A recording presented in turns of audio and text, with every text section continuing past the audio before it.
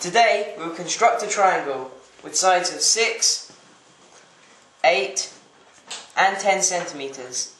For this you'll need a pencil, a ruler, a compass and a piece of paper. First of all, prepare a 10 centimetre line. This will act as the base of the triangle.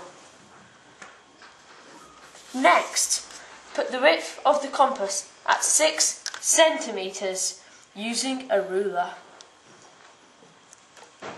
Then, stick the point of the compass on one side of the base and make a curve with the compass. Then do the same just with the compass, compass width at 8 centimetres on the other side.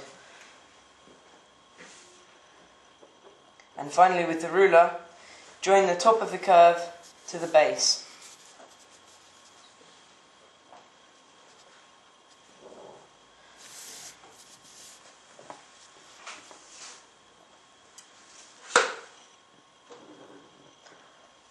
Congratulations, you have just made a triangle with sides of 6, 8 and 10 centimetres.